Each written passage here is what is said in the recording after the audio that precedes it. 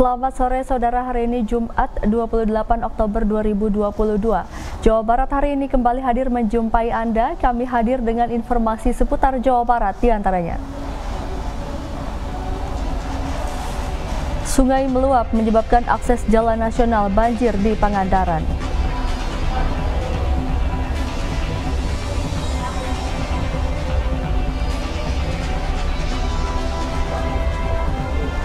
Tebing penahan tanah roboh, satu orang meninggal dunia.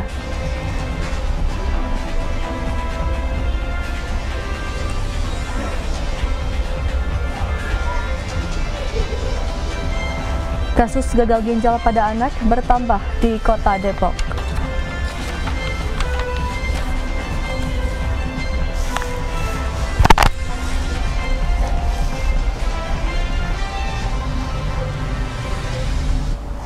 Saudara selain tiga topik utama tadi kami juga telah siapkan informasi lain untuk Anda tentunya bersama saya Alma Syifa. Inilah Jawa Barat hari ini selengkapnya.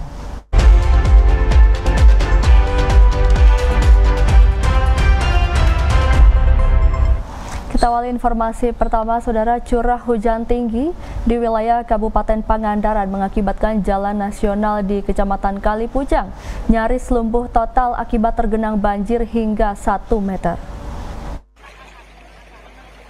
Hujan sejak beberapa hari lalu membuat debit sungai induk Citandui meluap.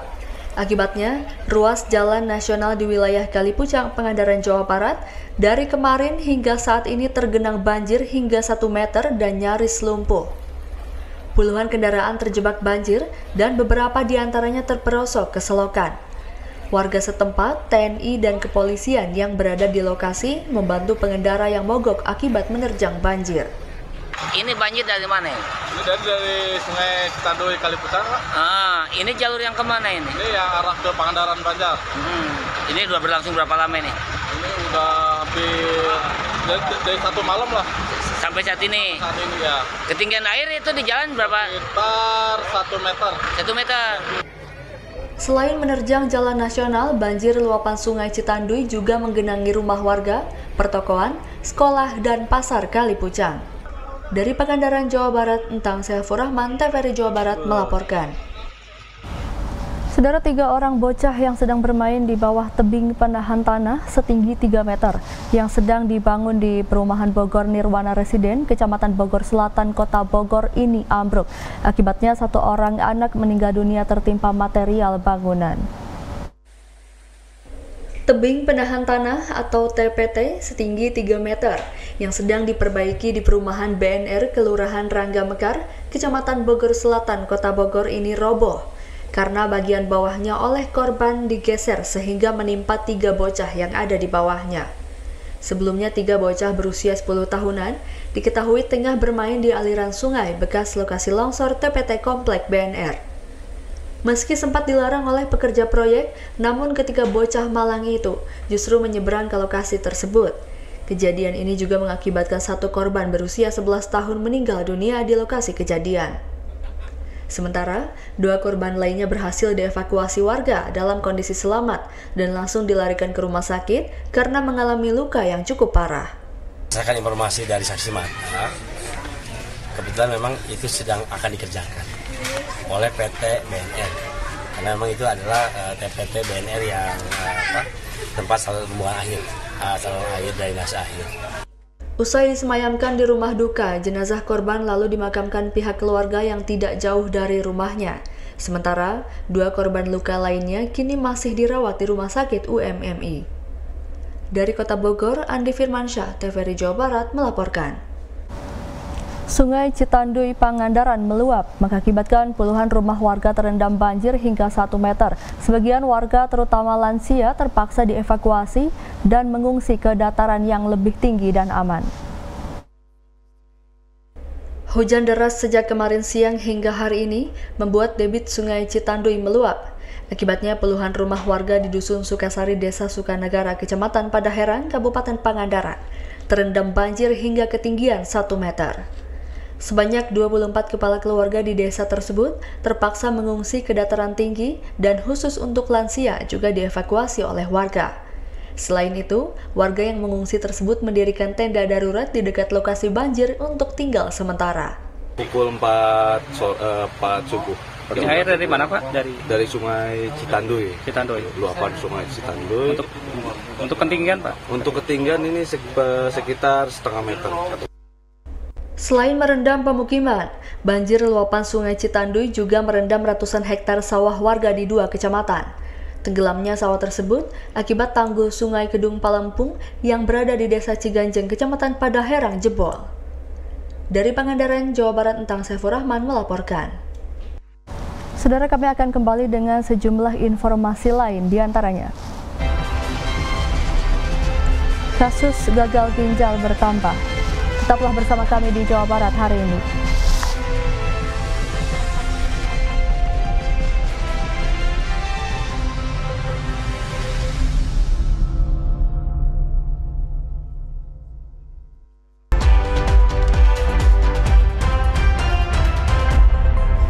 Terima kasih Anda masih menyaksikan Jawa Barat hari ini.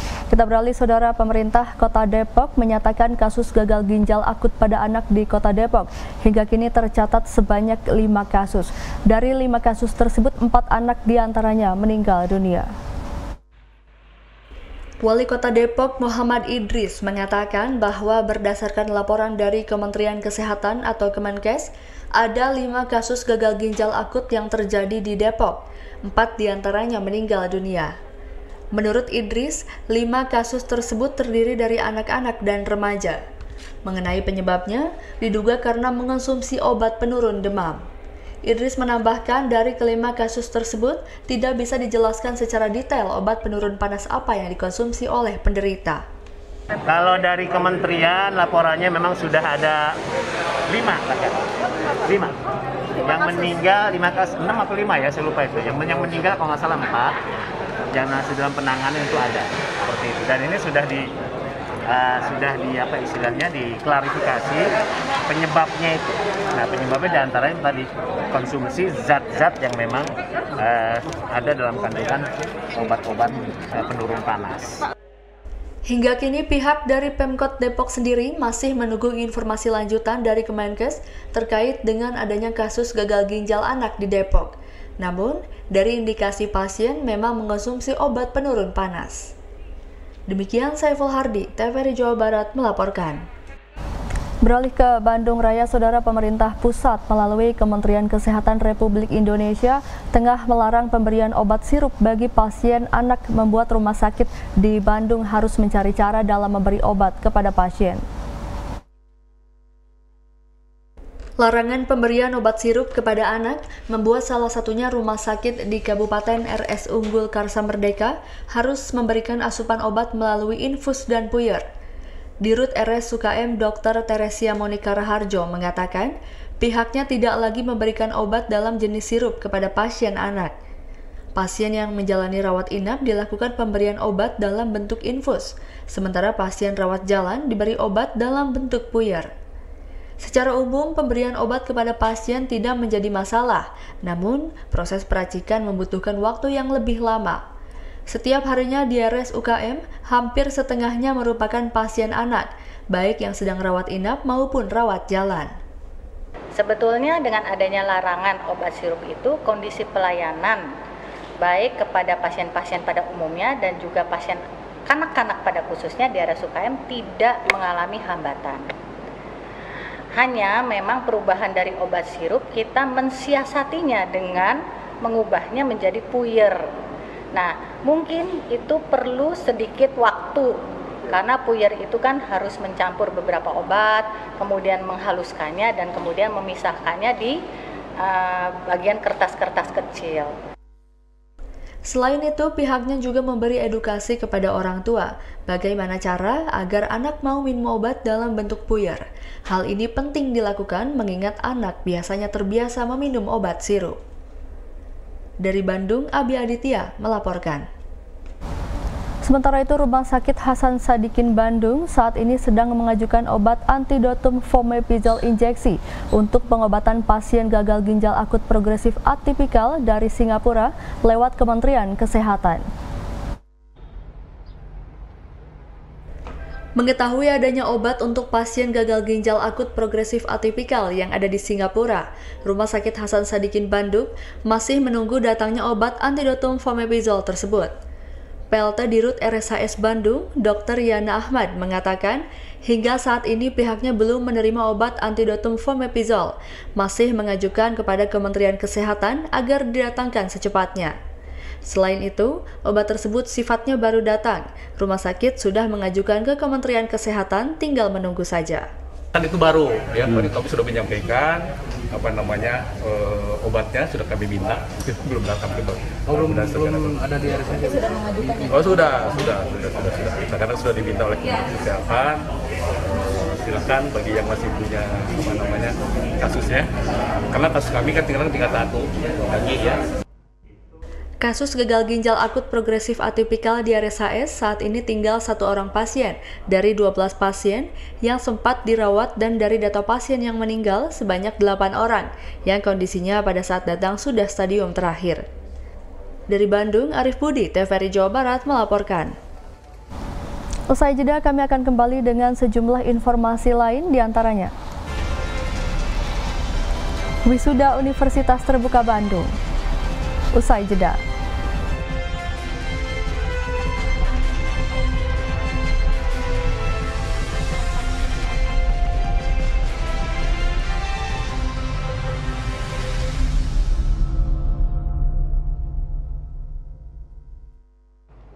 Assalamualaikum warahmatullahi wabarakatuh. Sampurasun.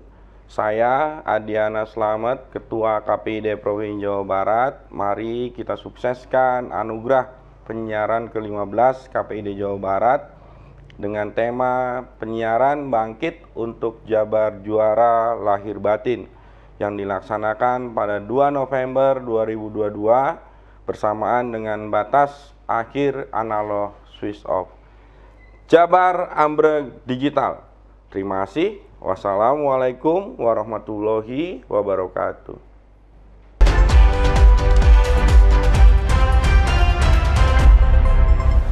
Anda masih bersama kami di Jawa Barat hari ini. Saudara Universitas Terbuka Bandung menggelar wisuda daerah periode 2 tahap 1 2022 di Kota Bandung. Pada wisuda ini, Universitas Terbuka Bandung mewisuda sebanyak 1.276 wisudawan program diploma, sarjana, dan pasca sarjana.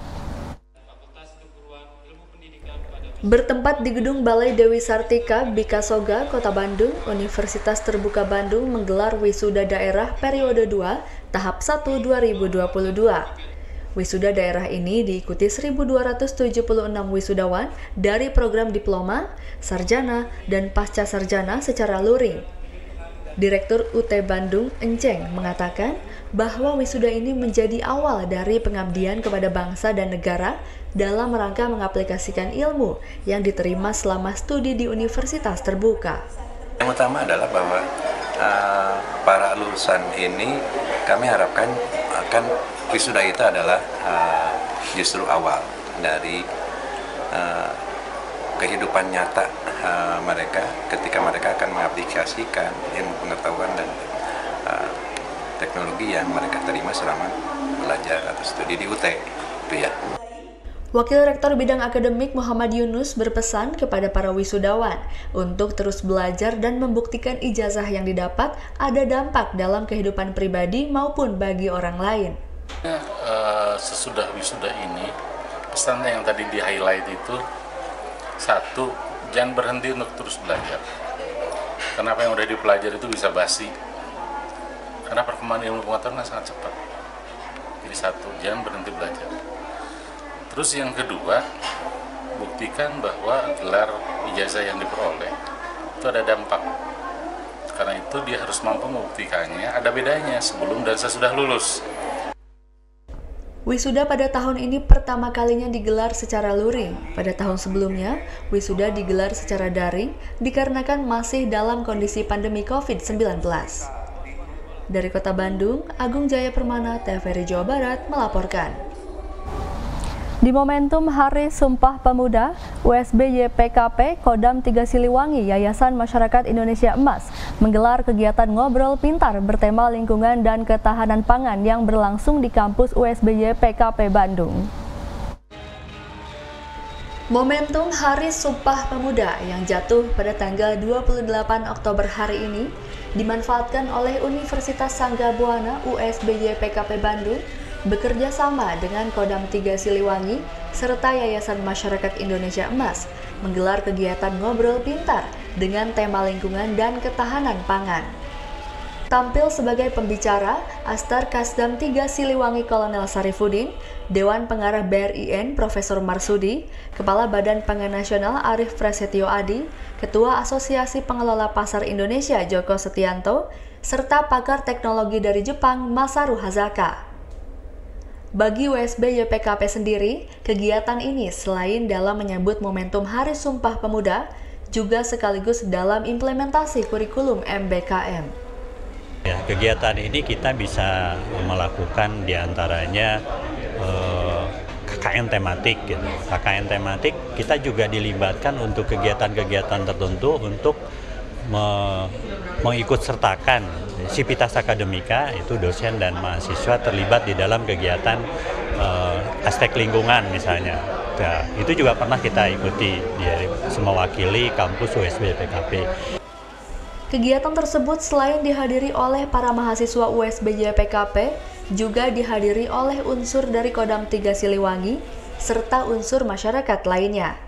Adapun berkaitan dengan tema lingkungan dan ketahanan pangan, menurut Profesor Marsudi, memang harus jadi kajian dan perhatian luas sehingga tidak ada kontradiktif antara target ketahanan pangan dengan permasalahan alih fungsi lahan. Jadi uh, memang betul alih fungsi lahan itu sekarang sudah mencapai 100 juta hektar per tahun alih fungsi lahan dari lahan sawah ke atau perkebunan menjadi hunian. Nah ini menjadi suatu hal yang sudah harusnya menjadi alarm.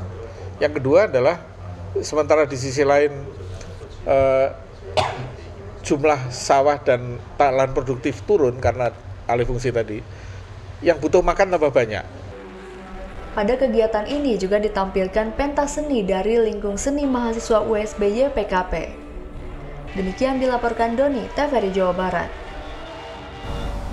Dalam memperingati Hari Sumpah Pemuda, Sekolah Menengah Atas Negeri 20 Bandung menggelar Festival Budaya Galavanya yang dilaksanakan di kampus SMA Negeri 20 Bandung, Jalan Citarum, Kota Bandung. Program rutin tahunan OSIS ini mengambil tema kekuatan dalam keindahan yang diterjemahkan ke dalam bentuk festival budaya. Kegiatan diawali dengan pawai budaya yang dilepas langsung oleh Kepala Sekolah SMA Negeri 20 Bandung dengan rute melewati Gedung Sate Bandung. Menurut Ketua OSIS SMA Negeri 20 Bandung, Kurnia Nur Rahman, Festival Budaya Nusantara ini diselenggarakan dalam rangka memperingati Hari Sumpah Pemuda. Jadi uh, untuk yang pertama tadi melihat adanya ke kelancaran keberhasilan kita melaksanakan gebiar atau festival keberagaman ini kita itu yang pertama tujuan kita itu sebagai wadah pastinya gitu pengen ngewadahin khususnya kita sebagai remaja agar lebih peduli lagi dalam hal melestarikan budaya sendiri gitu.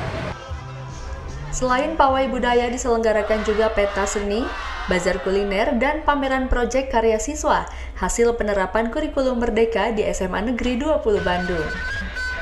Kami berusaha di SMA 20 dengan Pak Komite akan memfasilitasi, mewadahi, eh, dan mengembangkan minat bakat peserta didik dalam berbagai bidang, baik akademik maupun non-akademik. Banyak prestasi yang sudah diambil atau yang didapat SMA 20 baik berupa sains maupun uh, ekstrakurikuler olahraga gitu.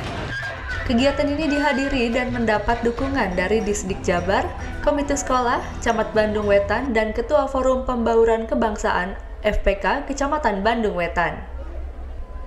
Dari Bandung, Doni TVRI Jawa Barat melaporkan. Informasi lain akan kami sampaikan di antaranya. KPID umumkan anugerah penyiaran.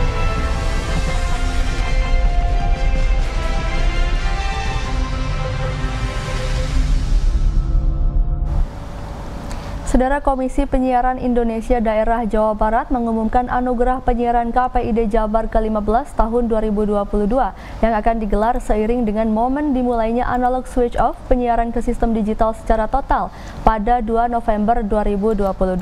Dalam penganugerahan tersebut, TVRI Jawa Barat masuk ke lima nominasi.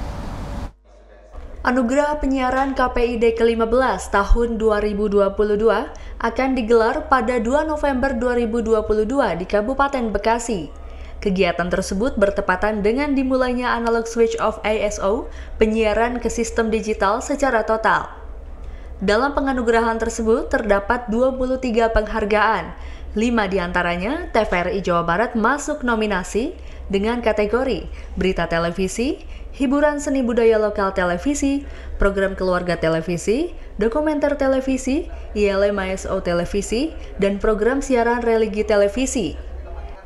Ketua Panitia Anugerah Penyiaran KPID Jawa Barat 2022, Jalu Proambodo, mengatakan pada tahun ini terdapat penghargaan baru, di antaranya penghargaan untuk kategori lembaga penyiaran ramah disabilitas dinilai dari ketersediaan fasilitas yang ramah untuk penyandang disabilitas, memiliki penyiar atau narasumber dari kalangan difabel, serta terdapat program khusus untuk penyandang disabilitas. Kita akan lembaga penyiaran kolaboratif, lembaga penyiaran yang dalam menyelenggarakan siaran, mereka berkolaborasi dengan berbagai macam elemen, misalnya dengan kampus, dengan apa dengan pemerintah, dengan masyarakat, gitu ya. Jadi uh, punya efek juga nanti yang sangat tinggi dan besar ke masyarakat. Anugerah Penyiaran Jawa Barat tahun ini menjadi momentum yang spesial dikarenakan bertepatan dengan batas akhir analog switch off. Dari Kota Bandung, Abi Aditya melaporkan.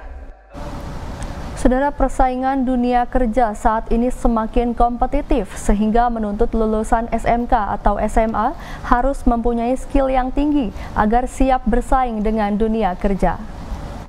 Angka pengangguran saat ini masih tinggi karena kesempatan kerja semakin sulit sehingga banyak lulusan mahasiswa tidak tertampung di dunia kerja. Menghadapi kondisi tersebut, dunia pendidikan harus bekerja keras agar mampu melahirkan lulusan siswanya yang mempunyai skill dan bisa mandiri. Kedisnaker Kabupaten Bandung Barat Panji Hernawan menyatakan, menghadapi persaingan kerja, pihak sekolah harus proaktif sehingga lulusan sekolah selain mempunyai skill juga wawasan tentang dunia kerja.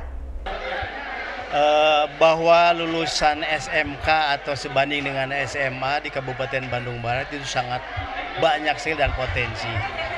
Ketika berbicara kelanjutan mereka, kita harus sikapi. Artinya, bahwa lulusan tersebut harus benar-benar potensi di, di potensi yang ada sehingga nanti tugas pemerintah harus ada di situ untuk nanti membimbing mereka kelanjutan dari proses sekolah tadi. Menghadapi tantangan dunia kerja, pihak sekolah terus melakukan upaya yang salah satunya adalah dengan mengadakan job fair di sekolah. Sasaran daripada EduFair ini ada beberapa hal di antaranya dari hasil pembelajaran sehari-hari anak-anak itu bisa menampilkan kreasi-kreasinya. Kemudian juga setelah lulus anak-anak itu didekatkan, diberikan informasi mau ke jurusan apa. Demikian laporan Endang Herman dan Agung, TVRI Jawa Barat. Beralih ke Subang, saudara cabang olahraga bola voli menjadi penanda dimulainya pelaksanaan Pekan Olahraga Provinsi Porprov ke-14 Jawa Barat tahun 2022. Pada partai pembuka mempertemukan tuan rumah Kabupaten Subang melawan Kabupaten Cirebon. Pertarungan antara tim bola voli putra Kabupaten Subang menghadapi Kabupaten Cirebon yang berlangsung di Gor Gotong Royong Subang hari Rabu menjadi awal dimulainya Pesta Olahraga Masyarakat Jawa Barat atau Porprov 14 2022. Ketua Panitia Pusat Porprov 14 M. Budiana mengatakan aura semangat warga Subang dalam menyambut Porprov sangat terasa meskipun secara resmi pembukaan baru akan dilaksanakan pada tanggal 12 November mendatang. Ia pun memberikan apresiasi terhadap perhatian pemerintah setempat atas penyelenggaraan Porprov 14 2022 di Kabupaten Subang. Buniada mengatakan selain Subang, ada 8 kota kabupaten lainnya yang menjadi tuan rumah Porprov Jabar 2022. Aura semangat warga Jawa Barat menyambut Porprov ke-14 eh, dimulai kebetulan di Kabupaten Subang dengan cabur bola voli kita bisa merasakan bersama bahwa eh, apa namanya auranya sangat sangat berasa warga Jabar begitu antusias menyambut kehadiran Porprov ke-14 ini. Saya merasakan hal itu. Lalu yang eh, lainnya misalnya juga perhatian kepala daerah setempat. Sementara itu, pertemuan antara tim bola voli putra Kabupaten Subang dengan Kabupaten Cirebon dimenangkan oleh Kabupaten Subang dengan skor 3-1, 25-16, 23-25, 25-16, dan 25-14. Demikian Ahmad Wirahadi, TVRI Jawa Barat melaporkan. Saudara berikut kita ikuti situasi dan kondisi lalu lintas di Kota Bandung berdasarkan Area Traffic Control System Dinas Perhubungan Kota Bandung. Kita ke kawasan pertama, saudara, di Simpang Surapati dan juga kawasan Sentot Alibasah. Dan ini merupakan uh, akses menuju Jalan Layang Surapati um, Pasupati. Terlihat di ruas sebelah kanan cukup ramai namun lancar dan di ruas sebaliknya jalan terlihat lancar. Berikutnya kita ke Simpang Sudirman dan juga Oto Iskandar di Data. Ini terlihat dan terpantau bahwa jalanan lancar dari ruas kiri dan juga kanan. Kemudian kita ke Simpang Soekarno-Hatta dan juga Buah Batu. Ini terlihat di ruas sebelah kanan cukup padat, namun di ruas sebelah kiri ramai dan lancar. Kemudian kita ke simpang Soekarno-Hatta Gede Bage ini dari arah Cibiru terlihat jalanan terpantau ramai lancar. Untuk Anda dimohon selalu berhati-hati saat berkendara. Saudara tadi merupakan paparan suasana lalu lintas di Kota Bandung dan sekarang kami sajikan untuk Anda info cuaca yang kami terima dari BMKG.